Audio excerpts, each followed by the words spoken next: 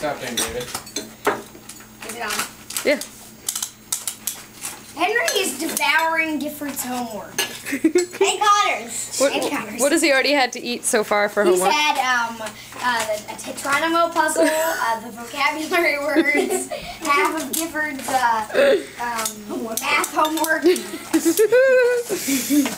Look, And some of my ice cream and, and some, and some ice cream. and he's had half of my Cheez-It crackers. oh yeah, you got those, and a few pieces of popcorn. Ooh, David's been entertained by Henry today. Henry, how are you oh, doing? Have a newsletter, Henry.